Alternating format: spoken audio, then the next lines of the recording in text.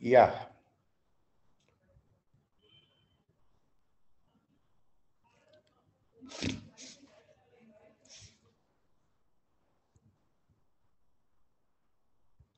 God is immortal. God God is blissful. God is eternal.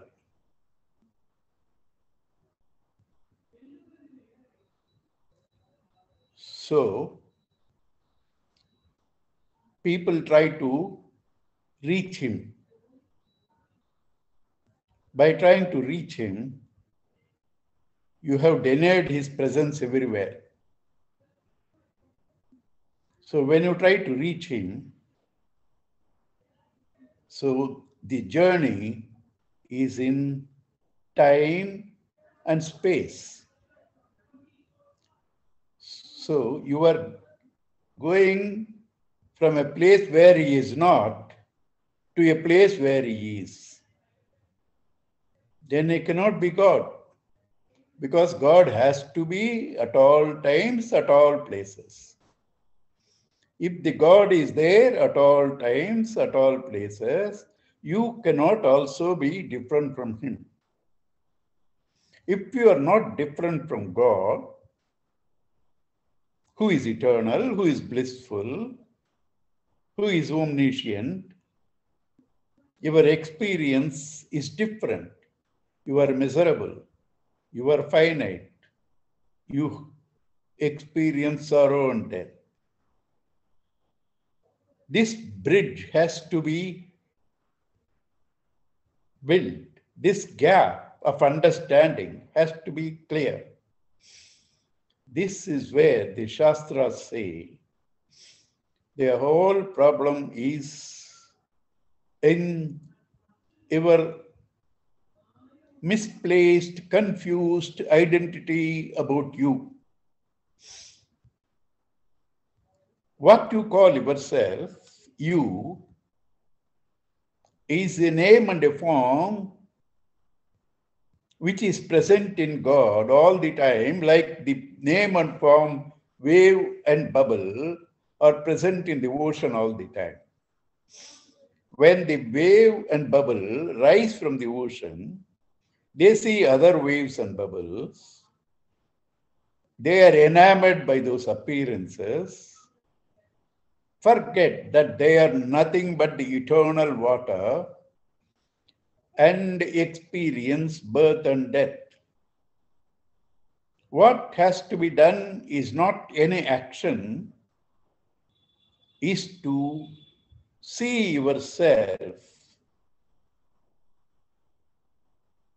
inside, means turn your attention from the form to the one who supports the form, to the one who illumines the form. If you turn your attention to that, you will understand you are that eternal, blissful, conscious existence. So it is all that all that is needed is knowledge, not action. Yet we have covered this real being of, of ourselves with lots of confusions, lots of thoughts born out of ignorance that I am this being, I am full and complete. And they, then you identify with the name and the form. That being finite wants to make it complete through desires and acquisitions. These desires and acquisitions become a thick layer of covering on you, the real being. So, what has to be done is to first thin down this layer, then turn our attention to that which is the real being and own that to be yourself.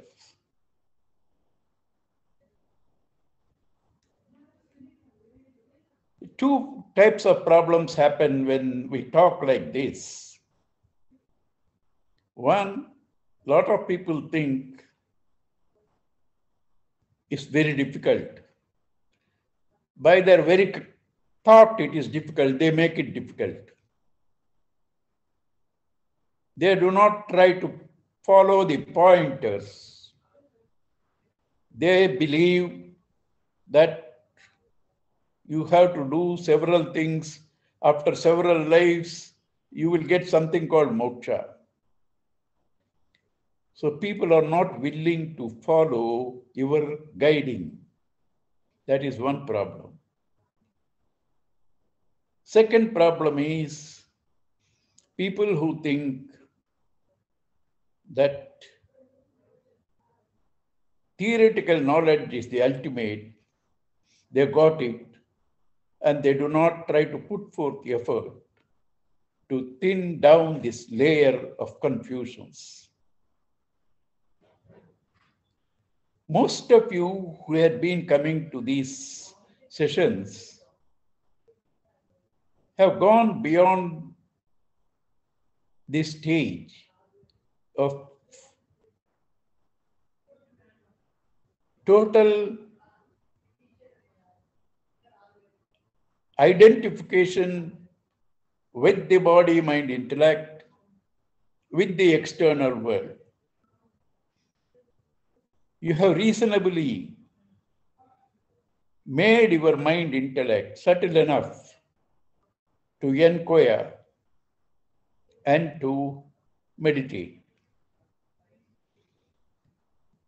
But here, a little extra effort will make it simple and beautiful. First, let us understand how these layers are formed.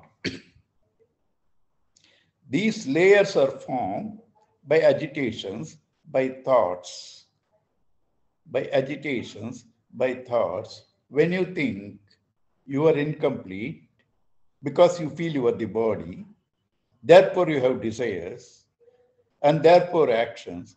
So what? You feel you need something, so you depend on results. Then the next agitations are formed by your think, doing things right, doing things wrong. And feeling you are responsible for several things that are happening in your life. So, this sense of doership and feeling that I am suffering, I am enjoying. Doership, enjoyership, and depending on the results alienate you from the real being that you are reinforce your identity with the form, brings out thick layers of coverings. So all that has to be now done is thin down these layers. How? The problem was depending on the results. The problem was the sense of doership and enjoyership the individuality, the ego. To undo this, you have to take up actions, not for the fulfillment through the body, mind, intellect, for reducing your vasanas in a dedicated activity. And through dedicated activity, reduce the vasanas. So therefore, this type of action is called offering to God, offering our actions to God. Also, it means you are doing all actions to know Him, to know Him. Second, not to have the sense of agency and doership, you have to withdraw from the identification that you are this body. So the first detaching from the results is called tyaga. Detaching from the sense of doership and enjoyership is called sannyasa. So this through this tyaga and sannyasa, while going through your life, while passing through your life, you pin down the layers of confusions called also vasanas. And in that purified mind and intellect, you can feel the presence of this consciousness clearly. Right? So, therefore, though the ultimate is through knowledge, the process involves cleaning the personality through karma yoga and bhakti yoga. There are three main ways, there are several ways, three main ways. In action, try to know Him, try to unite with Him. Trying to unite with Him is called yoga, and through action is called karma, action. Through that, uniting with Him, your karma yoga. Unite with Him through love, through devotion, that's called bhakti yoga unite with Him through knowledge, meditation. That's called Jnana Yoga. All the three roads take you to a point where from its common pursuit of trying to meditate and know Him. So, this Karma Yoga, where you have to renounce the fruits of dependence on the fruits of action and detached from the sense of agency, I am the doer, I am the enjoyer, is the subject matter after chapter 3, 4, and 5. In chapter 3, the emphasis was that though renunciation is the last step, knowledge is the main aspect of discovering our identity with God, you cannot skip the process of purifying the mind intellect through karma yoga. So, through dynamic action. So, third chapter, the importance of dynamic action. Dynamic action, even if eh, then if it is egoistic, it will produce again agitations. So, work for the welfare of others, knowing that the same God who is the essence in you is the essence in all. In other words, you alone live in all forms. So, therefore, you try to dedicate all your actions for the good of the totality. That's called Yajna Bhava. Third chapter, dynamic activity. Fourth chapter, Yajna Bhava. And the fifth chapter, how to detach from the sense of doership and enjoyership. When you have done that, you, come, you become fit for meditation. So, fifth chapter, he having told us how to detach from this doership and enjoyership, is now slowly taking us to introduce the basic principles of meditation, of renunciation, through the next eight or nine slokas. Let us see.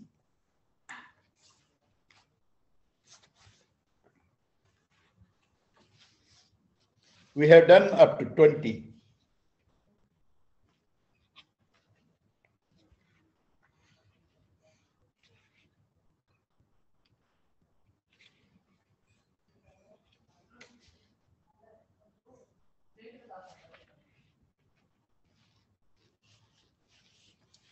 19 says, Ihaiva taijita sargaha, yesham samye sthitam manaha, nirdosham samam brahma, tasmad brahmani te sthitaha.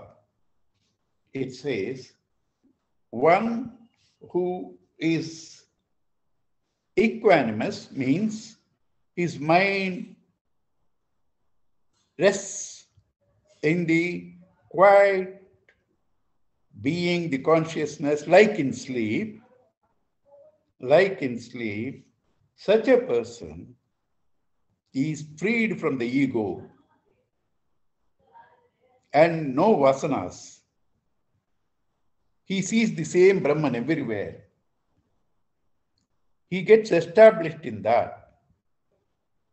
And therefore, he is not again born as a miserable martyr because the cause for being born again and again as a miserable martyr is the ego.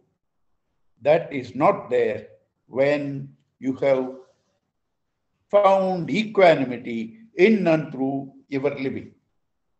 How do you find that equanimity?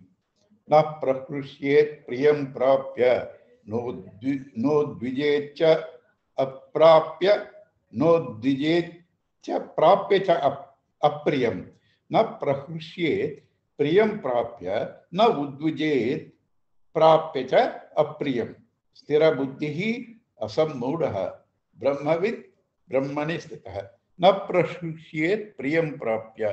When you get something pleasant he is not excited न च उद्विजेत अप्राप्य च अप्रियम न उद्विजेत प्राप्य च अप्रियम nor gets depressed when he gets something unpleasant sthira buddhi with a steady mind asammoodaha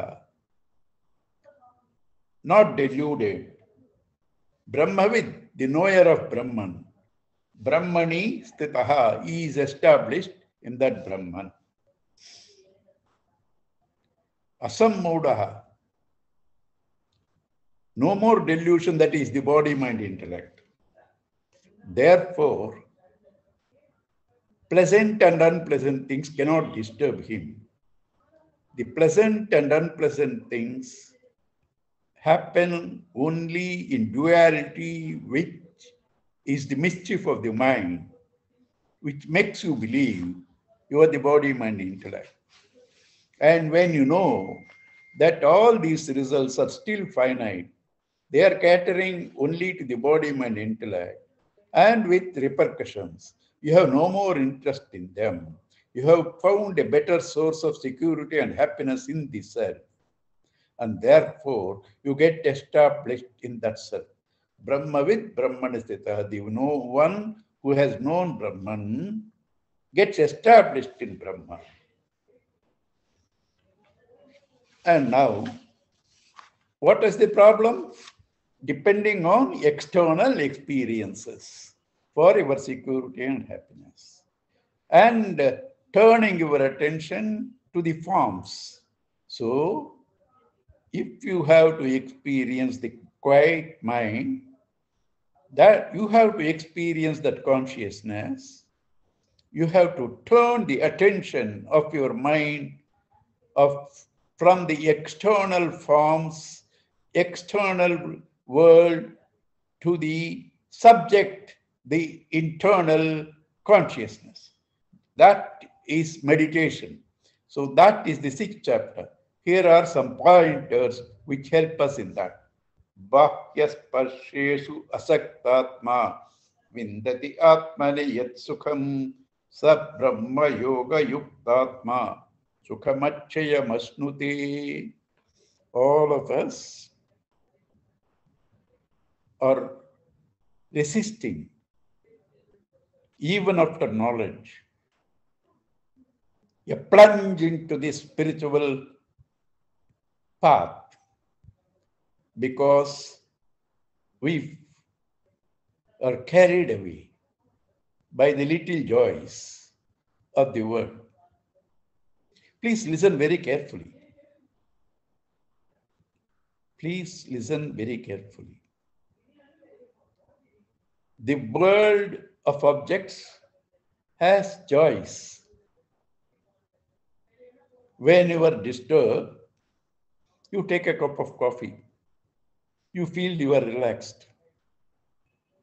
Sugar tastes sweet.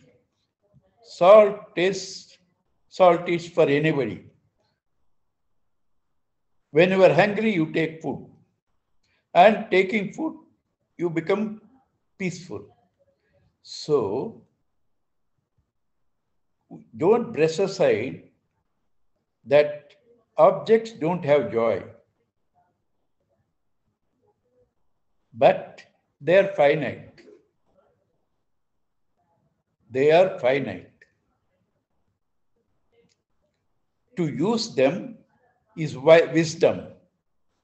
To depend on them is suicidal. Use the world that much necessary for you to carry on this journey of spirituality. Use them to that extent. But to depend on them for your security and happiness is to get into this total messing of your own life. So, world has a little limited finite joys and sorrows. Also, these very joys lead you to sorrow. That will come in the next uh, one or two verses. Use them as much necessary. Without eating food, you cannot meditate. But don't depend on that. Don't be lost in, don't become a foodie. Don't be lost in running after tasty food, after unintelligently eating all sorts of food. Do not do that. Do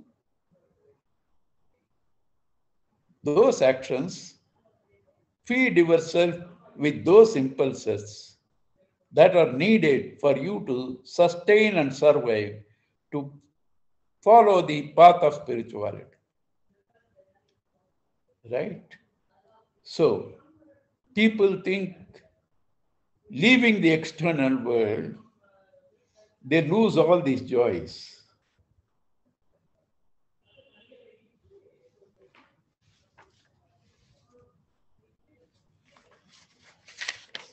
But when they lose these finite joys, it's not a void. It's not a void. It's a total fulfillment and unconditional infinite bliss you experience in your sleep. The joys and sorrows normally are got by your mind. And when you get a joy, again agitation is formed. You want to repeat it. You don't want it to end. Before you got it agitated. When you got it agitated. After it ends, agitated. That's all the mischief of the mind. In sleep, this mind is absent. It was not a vacuum. It is not a vacuum. It is at that time you experience the infinite bliss.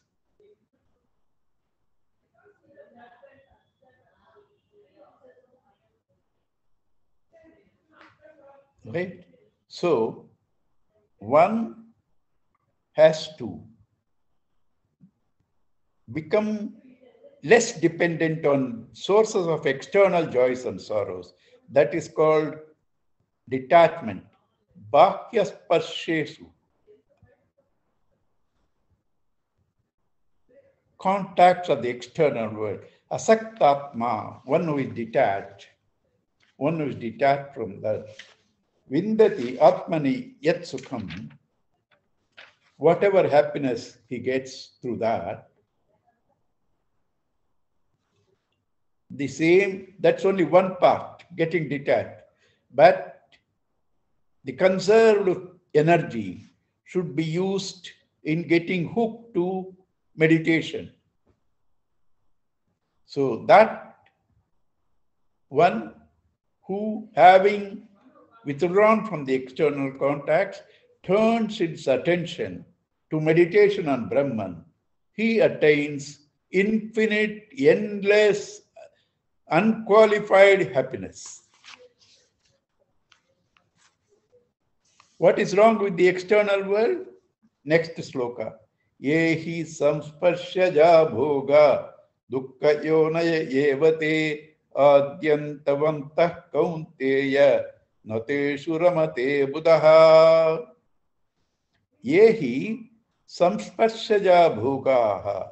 These joys born out of contact senses coming in contact with the sense objects. They have a beginning and they have an end. Adi adi anta antavat An- antavantah A- A- adi antavantah these joys born out of contact with the external objects naturally because they are finite because they are conditioned when they end they produce sorrow. Or even if they don't end an unintelligent indulgence brings you disease etc make you dependent. And therefore these joys born out of contact with sense objects becomes the womb of sorrows. All your sorrows today are because of your attachment to those joys. You don't experience sorrow for which you have no value at all.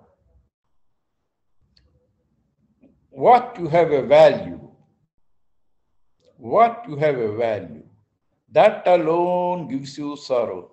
Why you become dependent on that? You become dependent on that. Therefore, these joys born out of contact with sense objects becomes the very womb of sorrow. They have a beginning and an end. And Buddha, the wise people, therefore, nateshu ramate, they do not revel in them. They do not revel in them. These bring sorrow means agitations, ripples, waves in you. You have to eliminate these ripples. You have to eliminate these agitations. You have to eliminate these waves. If you can do that, you will experience that joy in this very life. People talking about moksha, a post mortem state, is a speculation because you have not known it. Or the people who have gone there can show it to you. You do not know, others can dem- cannot demonstrate it to you. It's a speculation. But if you can eliminate these agitations, these waves, these ripples born out of sense enjoyments, then you are resting in that blissful consciousness. So he says, Shaknoti iha eva sodhum, sodhum to endure. Shaknoti enable, iha in this life itself, yaha whoever he may be, prak sharira vimokshanat, before he casts off this body, what are these waves? Kama, Krodha, Udbhavam, born of desire, anger. These waves are born of desire, anger. When you have desire, Kama, you become attached, Raga. And when there is an obstacle, you become angry, Krodha. Kama, Raga, Krodha, fear of losing it, Bhaya. These are the waves. Kama wave, Krodha wave, Raga wave, Bhaya wave. These are the waves that conceal the beautiful self. So, in this very life, you must be able to control these waves, though not totally, Vegam, Kama, Krodhodbham, Veg. Their onslaughts, their onslaughts should be reduced. They should be thinned down. If you can do that in this very life, through detaching from the senses, attaching to the self, this is meditation. Detaching from the senses and experiences, attaching to the self if you can reduce the onslaughts of this kama and krodha, you will experience that happiness which is promised in the scriptures here itself. You don't have to wait to die. So make a conscious effort to reduce the onslaughts of these kama and krodha. How do you do it? by detaching. How can you detach? By focusing your attention to the self. This detachment, vairagya, focusing to the self, abhyasa, together is called meditation. Detachment, attachment. Detachment from the false, attaching to the real. So you cannot detach without attaching to the self. Unless you have something greater promise. You cannot detach from your lower pursuits. So turn your attention to this self, God, and thus slowly withdraw from the external experiences, reduce the veracity and velocity of these agitations, then you will experience that bliss in this very life itself.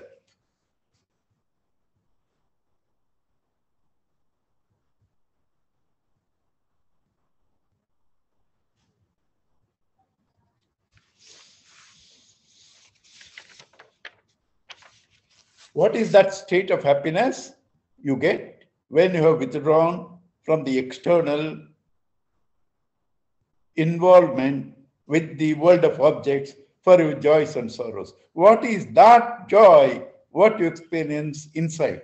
Yo antaha sukaha antaha aramaha tata anta jyotihi evayaha sayogi brahma nirvanam brahma bhuto digachati. One who is happy not through the outside world, is happy being with the self, like in sleep. By like in sleep. One who doesn't revel in the external world, revels in his own self. One who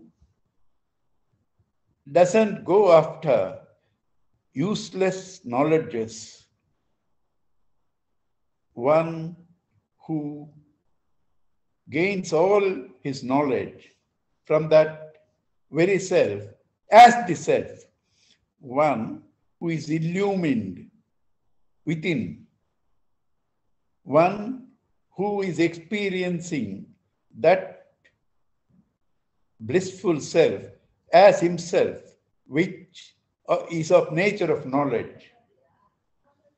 Such a person completely withdraws from his mind this withdrawal from the mind is called moksha.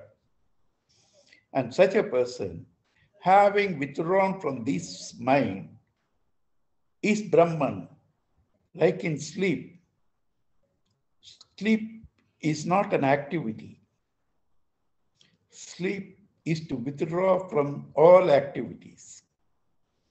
You have first withdrawn from physical activity, then mental and intellectual activities, then naturally you sleep.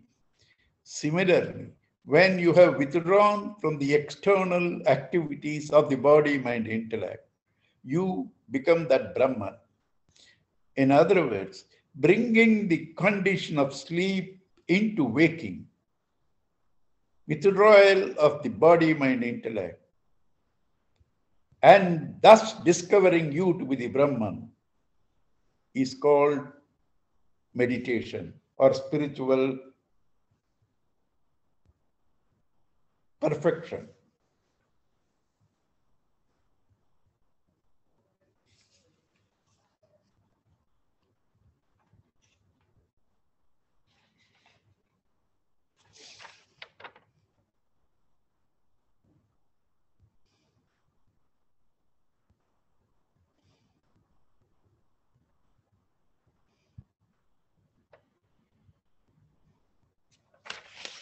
लभन्ते ब्रह्मनिर्वाणम् ऋषयः क्षीणकल्मषाः छिन्नद्वैधा यतात्मानः सर्वभूतहिते रताः You gain that state of bliss.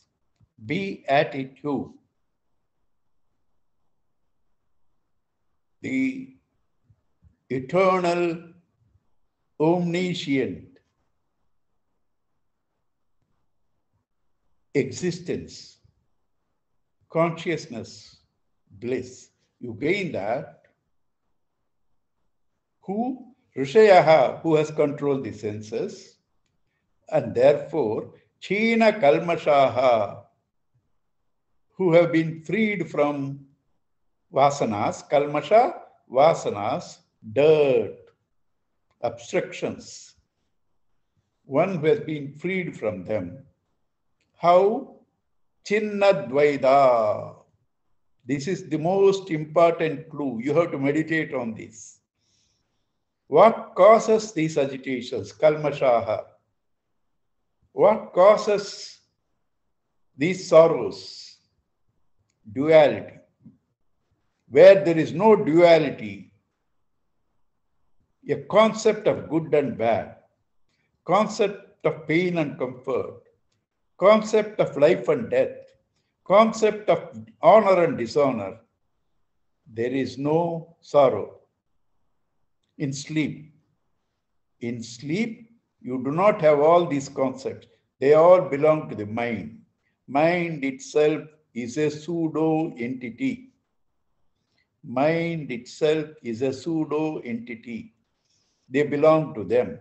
When you detach from them in sleep, there is no duality. In sleep, the sleep of a learned person, the sleep of an ignorant person, the sleep of a sinner, the sleep of a saint. It's all the same. There, what is there is unconditional, unbroken, eternal, blissful self. It's the same everywhere. So, this duality is caused by the mind. Withdraw from the mind, find the oneness in all. Once you find the oneness in all, there is no insecurity. Where there is no insecurity, there are no sorrows. Insecurity is the mother of all negative thoughts. Insecurity is born of false belief that you are the body, mind, and intellect. Insecurity is born out of the belief that you are the body, mind, and intellect. Insecurity is the mother of all negative qualities. Therefore, understand you are not the body, mind, and intellect. You are that self without which the body cannot function, without which the mind cannot emote, without which the intellect cannot think. Without you, they cannot work. But without them, you can be there like in sleep. Without you, they cannot work. Without them, you can be there like in sleep. So, if you sit and see, without which I cannot work, without even the body mind, what is there, if you sit and see for yourself, that is called meditation. That is called meditation. You have to sit and see. And then you will see yourself to that non-dual blissful self. So duality is the cause of all sorrow, which is made by the mind, which itself is pseudo. Chinnadvaidaha, Chinnadvaidha, Yatatmanaha, striving to reach that. Sarva Bhuta, this is most important. Sarva Bhuta Hite Rataha, who is engaged all the time in the welfare of everybody. In the seat of meditation, you do 20 minutes. Rest of the time, you are interacting with the world. If you are to live, you have to act. When you live in the world, act as the ego, for the fulfillment of the body, mind, intellect, you are only acquiring, breeding sorrows. Ego brings sorrow. Ego is the feeling that I'm the body, mind, intellect. Ego brings sorrow. Ego brings death. Ego brings bondage. To get over this ego is to see the self in you as the self in all. This self in you is the God. That God is all that exists. And therefore, to get rid of this ego, now try to expand yourself from this body, mind, intellect. See all and serve all. This is the most important clue. We do several things in spiritual thing, listening, contemplating, meditating, by hearting Sanskrit. It doesn't work till you do this. See the one God only and serve all. Sarva bhuta hite Therefore, spirituality is not one who has no social connectivity. He has to feel the God everywhere. And so, why you love God? Swamiji is a beautiful example. You can't say, I love flowers and don't water plants. If you love flowers, you will water the plants. So if you love God and the same God in all, you have to serve Him in all forms. And that is the only way you can stop seeing the differences. Seeing the differences is the cause of all your sorrow. Therefore, the sarva bhuta hite rataha is most important. Kama krodha viyuktanam yatinam yata vartate. This bliss that you are seeking, this immortality that you are seeking, this knowledge that you are seeking is your real being. You don't have to do anything. You only have to remove the obstructions. Therefore, he says, Kama Krodha Viyuktanam, one who is freed from the Kama and Krodha, desire and anger, Yatinam, the, the one who is striving,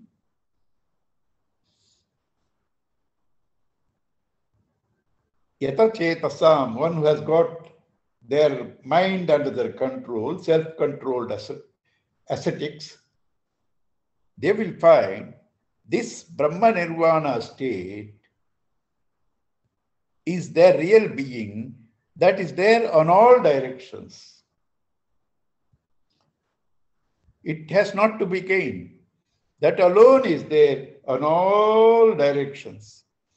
You are not able to experience because of these agitations of kama and krodha. The moment you control those kama and krodha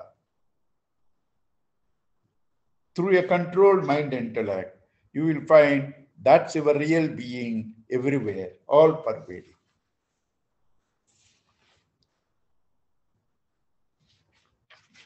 This is got through knowing the self, viditatmanam.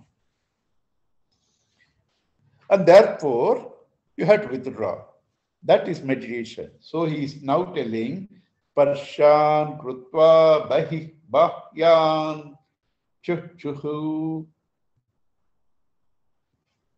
bahyan cha eva antare भ्रुवोः प्राण अपानौ समौ कृत्वा नासाभ्यान्तरचारिणौ। यतीन्द्रिय मनोबुद्धिः मुनिः मोक्षपरायणः विगत इच्छ भय क्रोधः यः सदा मुक्त एव सः। स्पर्शान कृत्वा बहिर्बाह्यान बहिर्बाह्यान् वंतरे भ्रुवो। प्राणापानो समौ कृत्वा नासाभ्यांतरचारिण इतेन्द्रिय मनोबुद्धि नासाभ्यान्तरचारिणौ।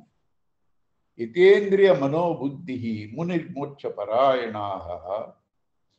विगतेच्छा भयक्रोधः यह सदा मुक्त एव सः।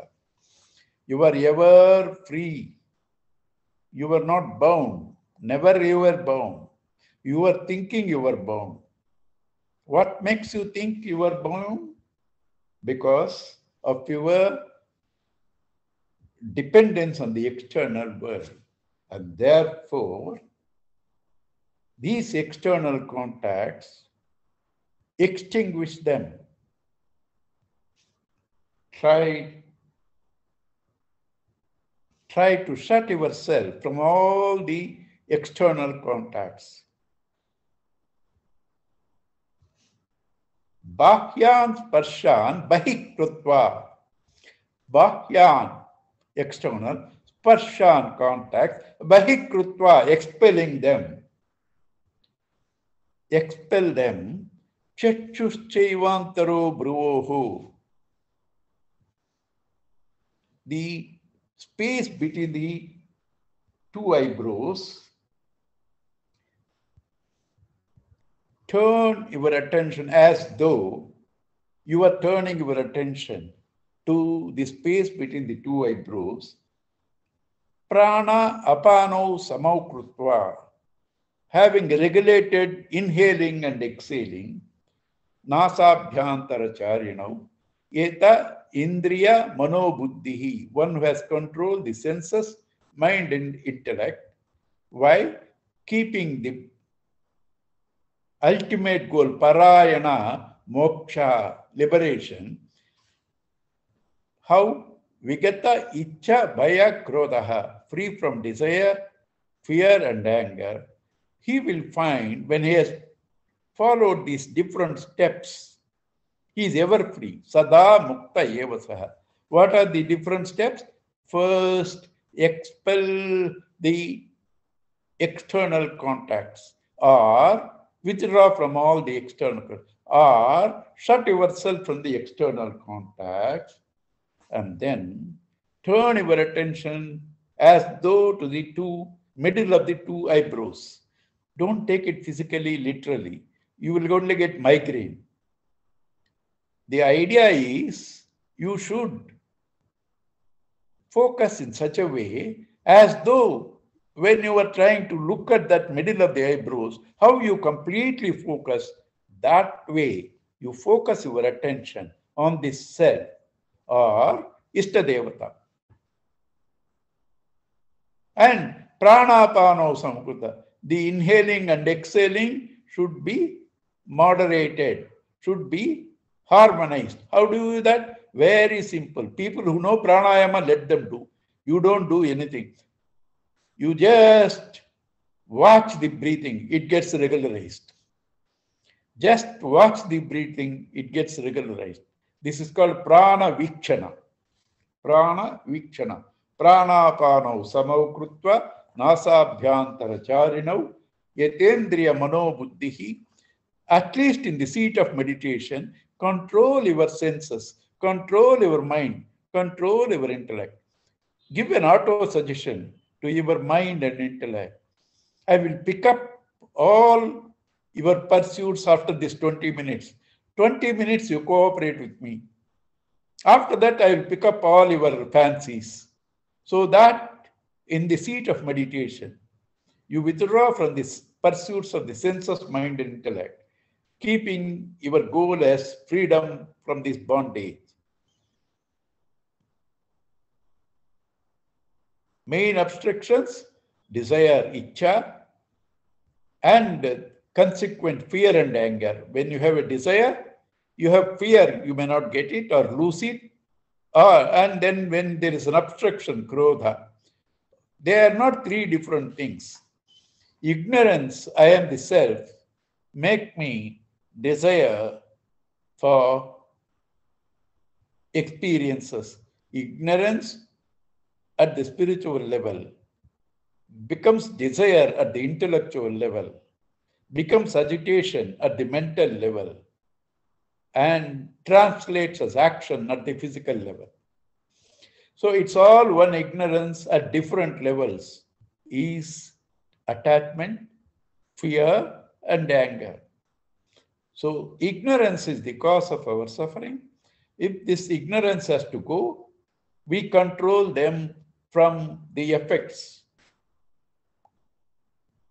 Attachment to external world, leave. And when you leave that, fear gets reduced, krodha gets reduced, these agitations get reduced, and then you can meditate. And you will find you are already liberated because when these thought waves are not there, you experience that self. And to meditate on whom? How do you meditate on this self? Contemplate on this self. भोक्तारं यज्ञतपसां सर्वलोकमहेश्वरं सुहृदं सर्वभूतानां ज्ञात्वा मां शान्तिपृच्छति Bhuktaram Yajna Tapasam. All the yajnas, dedicated activities, tapas, disciplines, austerities, are all supported by, felt by this consciousness. All your activities, dedicated activities, all your austerities are supported by, felt by this consciousness. That's a meditation by itself. How am I able to do the yajna? My hand moves, my eyes see, my ears hear. How? Because of that life force. So you feel that life force in you who makes you do the yajna, who makes you take up several restraints, and where you feel the impact of these yajnas and tapas, that is the life force, that is the self, that is the consciousness, without which no experience of yours is ever possible. Therefore, he is the Lord of all experiences. Loka means experience. Ishvara, the Lord. Sarva Loka, all experiences. Maheshwaraha, the Lord of all the experienced world of everybody, is this consciousness. Right? Sukhrudam, Sarvabhut, he is the best friend of all beings, well wisher of all beings. He is the friend, well wisher of all beings. Natva, having understood, Shanti Mruchati, you can gain peace. And he said, Mam, when you listen to these first statements, it looks as though it is talked about the impersonal God. True. But impersonal God, you can't concentrate because you need love.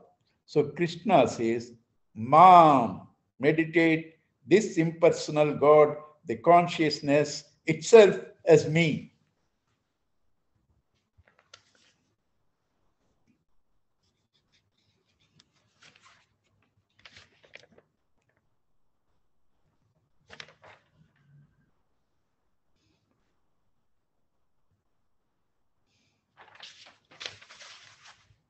So ಓಂ ತತ್ಸದಿತಿ ಶ್ರೀಮದ್ ಭಗವದ್ಗೀತಾಸು ಉಪನಿಷತ್ಸು ಬ್ರಹ್ಮ ವಿದ್ಯಾಯಾಮ್ ಯೋಗಶಾಸ್ತ್ರೇ ಶ್ರೀಕೃಷ್ಣಾರ್ಜುನ ಸಂವಾದಿ ಕರ್ಮ ಸನ್ಯಾಸ ಯೋಗೋ ನಾಮ ಪಂಚಮೋಧ್ಯಾಯ fifth chapter is ended now the whole purpose is to withdraw from the external world turn our attention to the self this is meditation so, the technique of meditation how to do that is the sixth chapter, Dhyana Yoga or Atma Samyama Yoga. In the sixth chapter, mainly the technique is given, but details of on what to meditate, how to meditate are given after the 7th to 15th.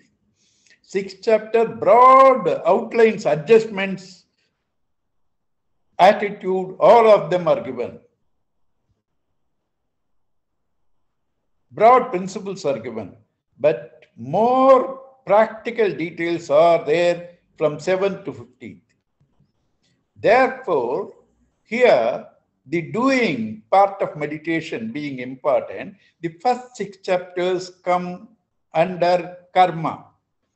Also, that's the individual. Tvam.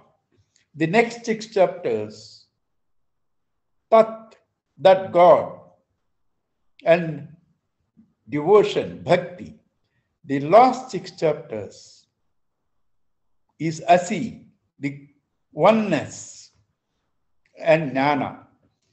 So first six chapters karma yoga. So meditation also comes on karma yoga because here the doing meditation is highlighted. So we'll now go to the sixth chapter.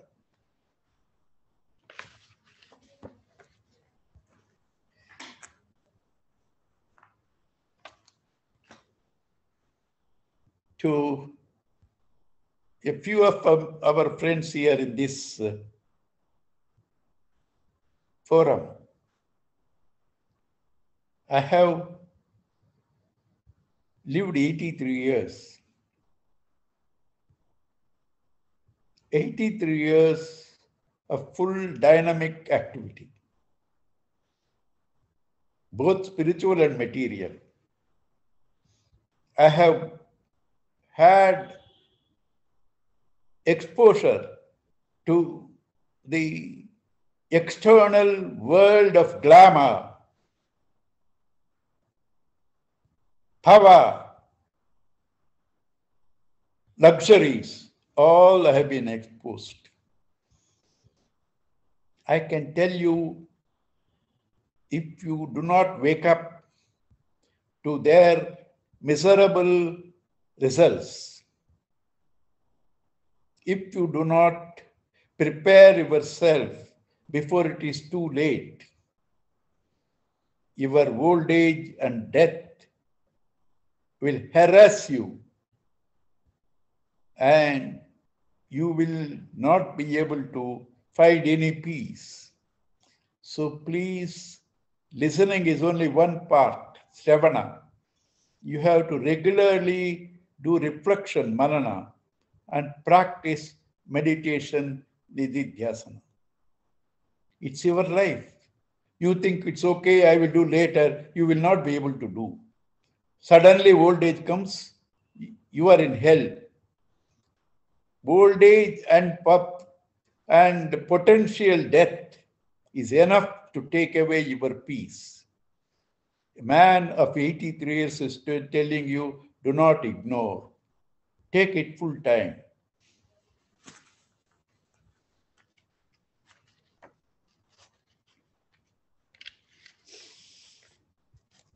श्रीभगवानुवाच, अनाश्रितः कर्मफलं कार्यं कर्म करोति यः। स च योगी च, न निरग्निः, न च अक्रियः।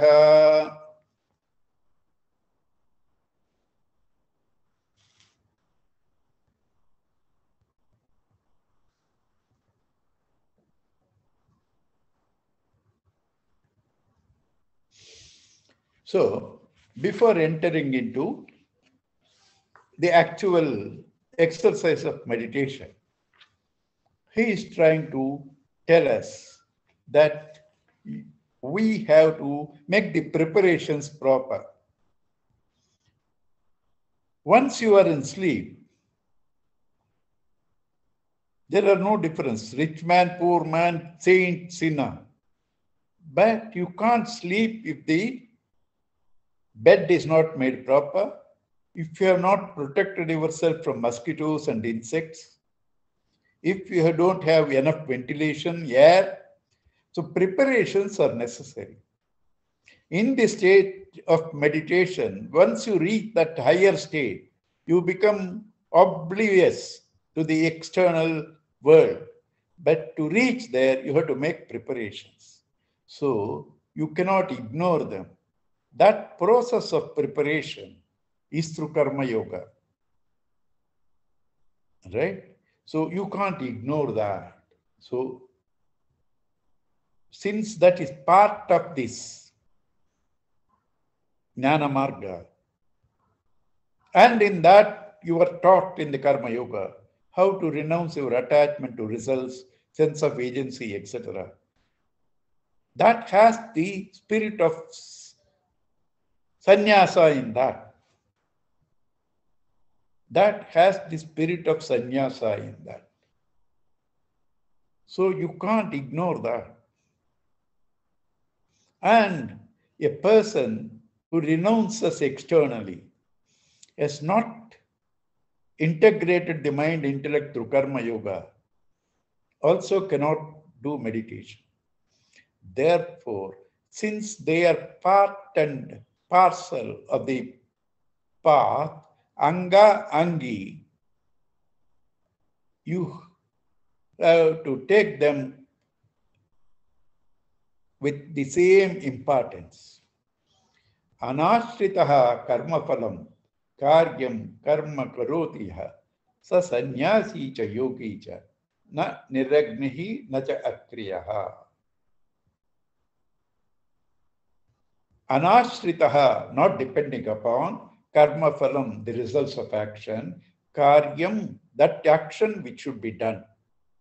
This action should be done now. What results will come is in God's hand. I, I should not worry about that. This action should be done. Karyam, do it.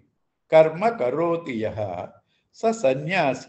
Because he has no dependency on results, he has renounced them, he is a sannyasi, and because he is focusing to the self, he is using this karma also to integrate the mind and intellect. He is a yogi.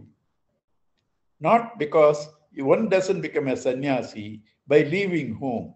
At home, the five fires have to be maintained at home. So that's called Agni. So Gruhastha, main emphasis is in Agni. Sannyasa, main emphasis on leaving actions. But the spirit behind them is leaving the ego. Without taking care of the leaving the ego, I am the doer, enjoyer, without freeing yourself from dependence on the results, you cannot become a sannyasi nor a yogi.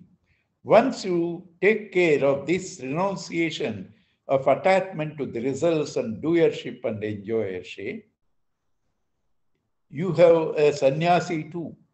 So they are not totally two different things.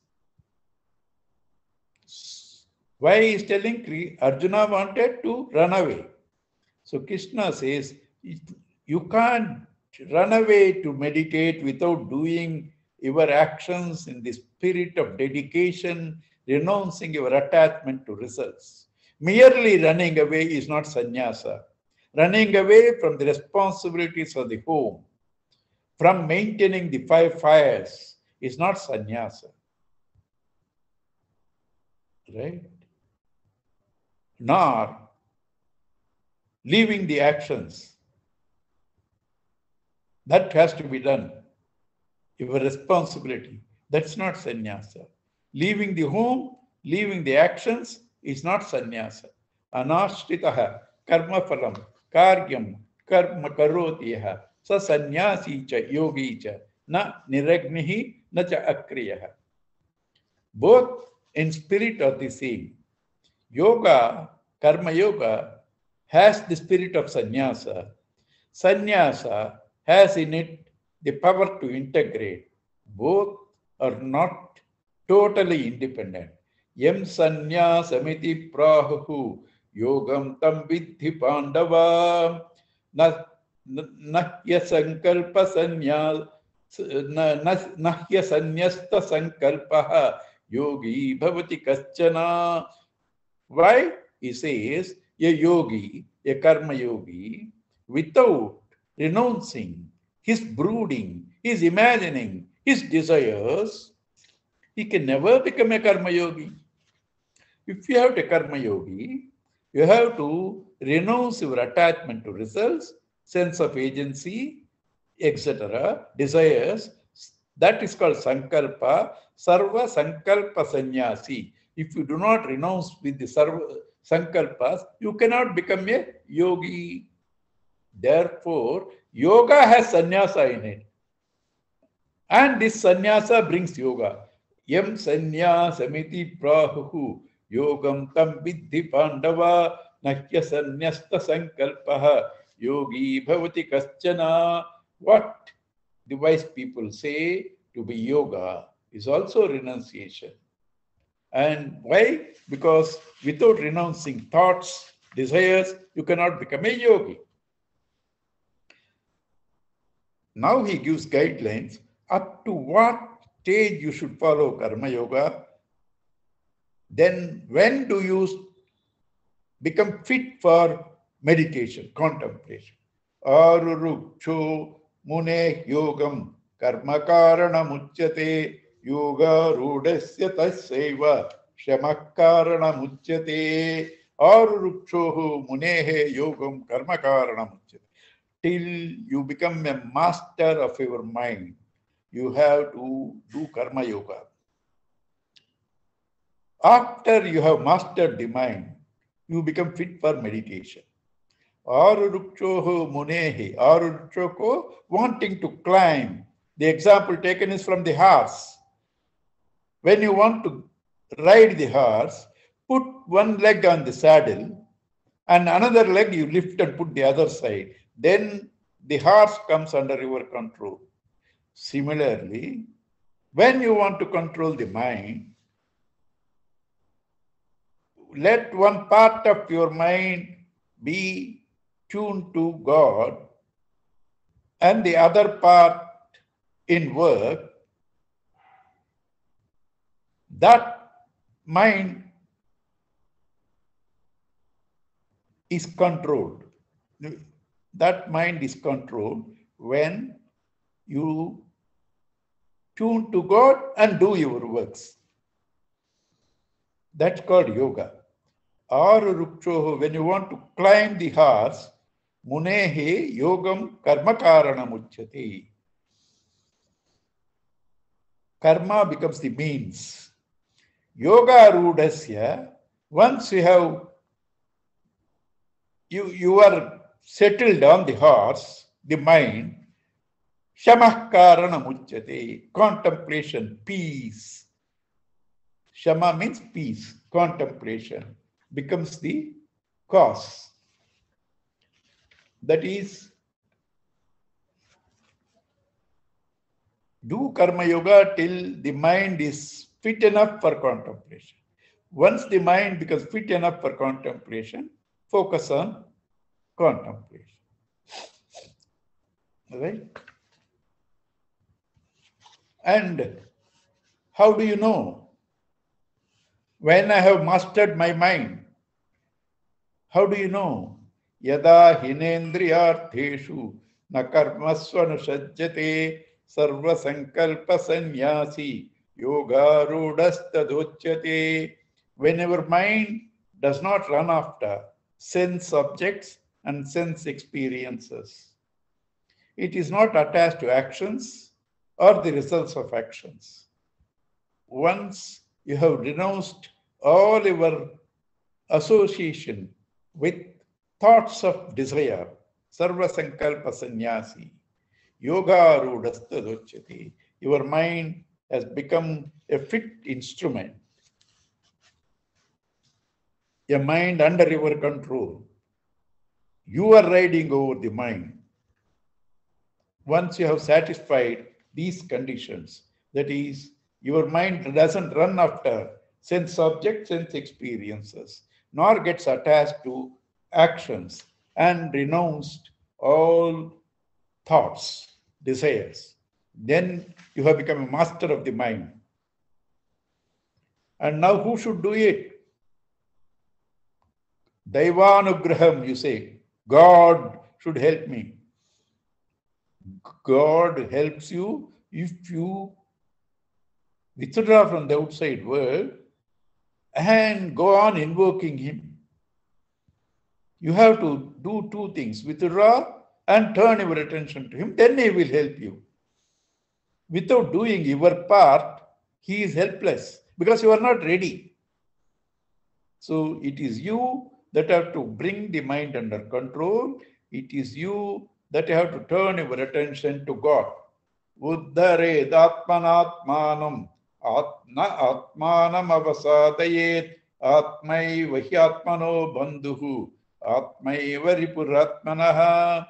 Your atma, yourself, is your friend, is your enemy. Uddare atmana atmanam. Therefore, you lift your ego by yourself. You lift your mind by yourself. And do not allow the mind to slip down, the ego to slip down.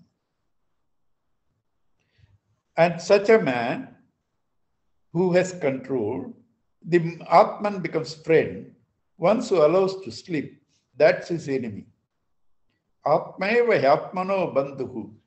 Atmaiva Ripuratmana. You are your friend, you are your enemy. Therefore, you should try to lift your mind by yourself. So, here, what was suggested in the previous verse, in the next verse, he says, Who is a friend, who is an enemy?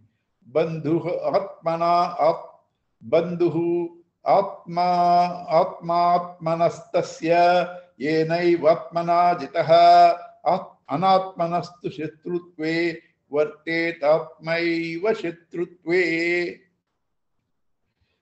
one who has controlled the mind to him he becomes a friend of himself because he will experience that ultimate goal one who has brought the mind under his control.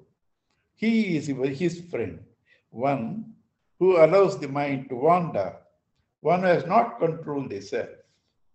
He is his own enemy.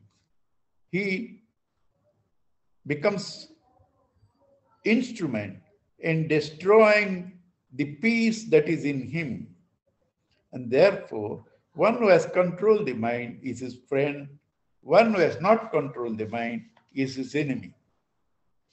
Jitat manah prashantasya paramatma samahitaha शीतोष्ण सुख दुखेशु तथा मानापमानयोः ज्ञान विज्ञान तृप्तात्मा कूटस्थो विदितेन्द्रियः युक्त इत्युच्यते योगी समलोष्टास्म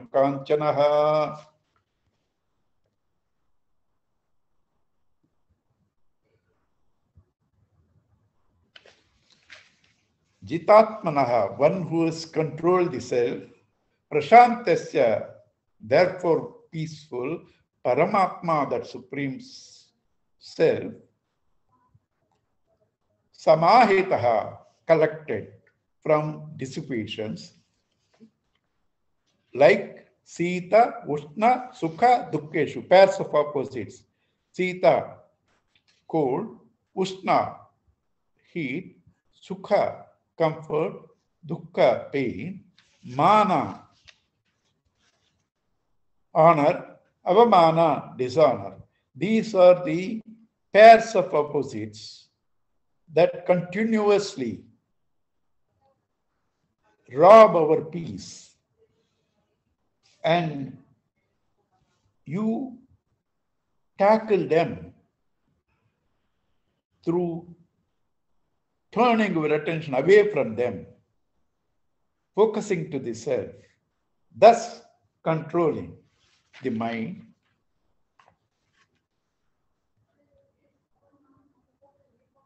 When can you do that? Jnana Vijnana Truptatma.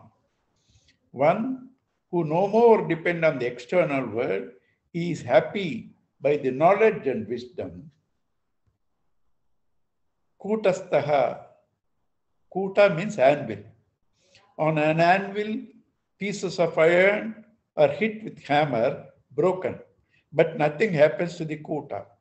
On you, the kuta, the anvil, different experiences come and hammer, but you do not move. So, what are the different? Said in the previous sloka, Sita, Ushna, Sukha, Dukkha, Mana, Avamana. These onslaughts cannot do anything to you. Why? Because you are established in the knowledge and wisdom. You are not the body, you are not the mind, you are not the intellect, you are the self. Vijitendriyaha, one who has conquered the self, Yukta Ichuchate Yogi, that man is said to be a successful meditator, a man who has integrated himself. Such a man, such a person who has achieved this mastery over the mind, harmonized the mind and intellect, thereafter he looks Losta, cloud of earth, Ashma, stone, Kanchana, gold. They are all same for him. Why suddenly he brings this? Unless you come to that state of losing value for anything external, starting from a clod of earth to gold, you still are in the world of forms, names and forms. One cannot be dreaming and waking up at the same time. While you are dreaming, you cannot wake up. You cannot be in two dimensions at the same time. If you want to go where there are no forms, where there are no thoughts, you want to experience that self, you have to completely lose all value for external things. Let it be earth, let it be stone, let it be gold. You have no value for them.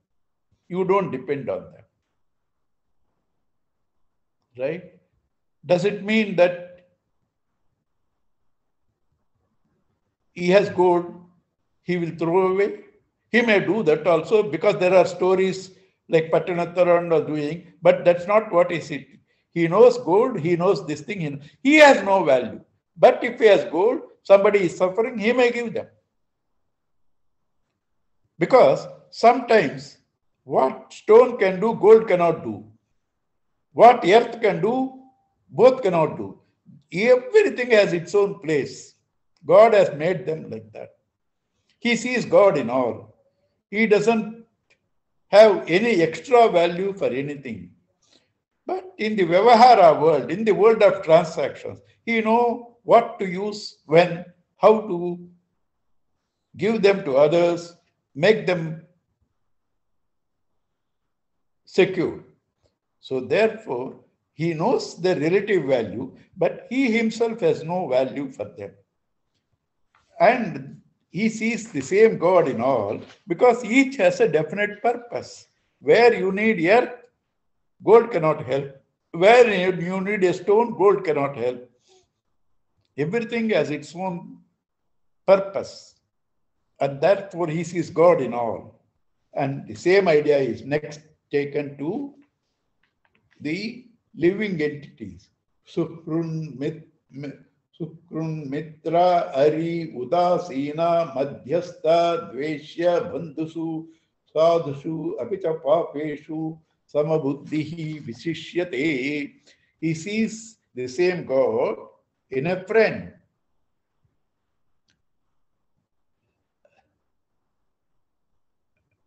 In a well-wisher, Sukrun Mitraha, in a friend, Udasinaha, who is indifferent, Ari, enemy, Sukrun Mitra Ari, Mitra, Mitra, friend, Ari, enemy, Udasinaha, indifferent, Madhyastha, Madhyastha, people who do not take any side, neutral people. Dveshya, one who hates you. Bandhushu, one who is a relative. Sadhushu, the saints, Papeshu, sinners, Samabuddhihi Visishyate. And such a person who sees the same God in all, he accepts. I will, uh, this is very important because you think it is impossible. You think you cannot see the saint and the sinner at the same level.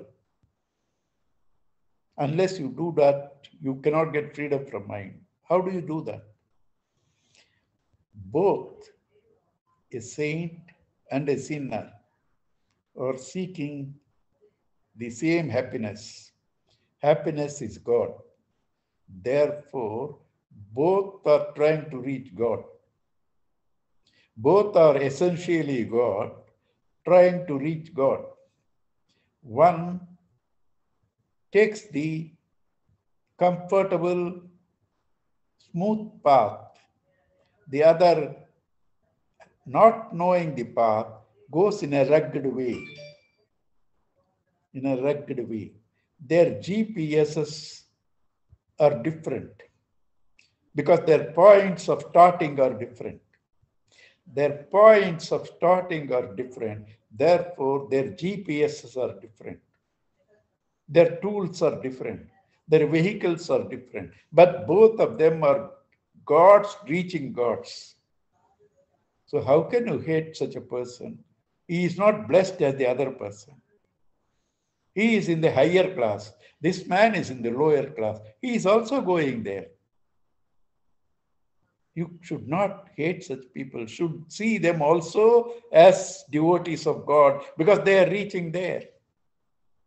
And when does a man you call sinner because he hurts others? Why does he hurt others? Because he is not happy. Because there is a very prominent statement no happy man ever hurts another man.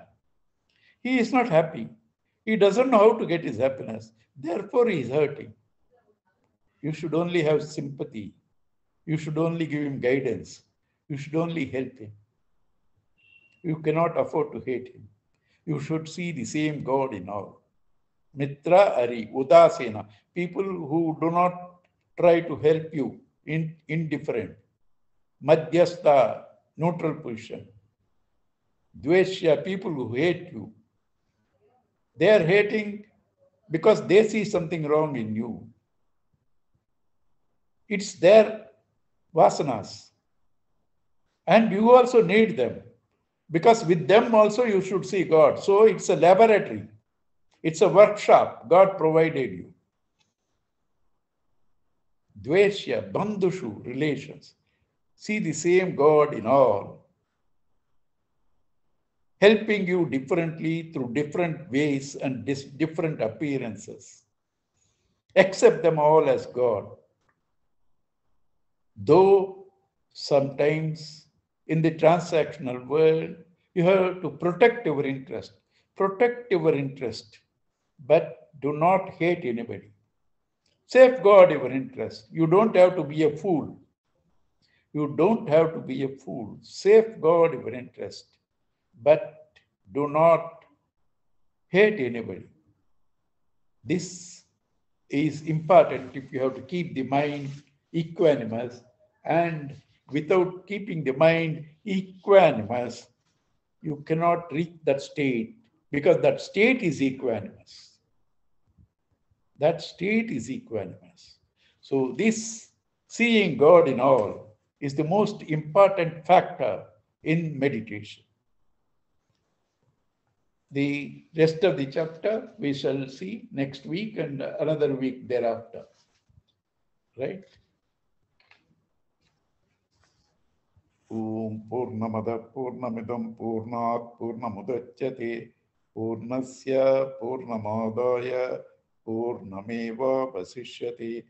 ॐ शान्ति शान्ति शान्तिः हरिः ॐ श्रीगुरुभ्यो नमः हरिः ॐ thank you all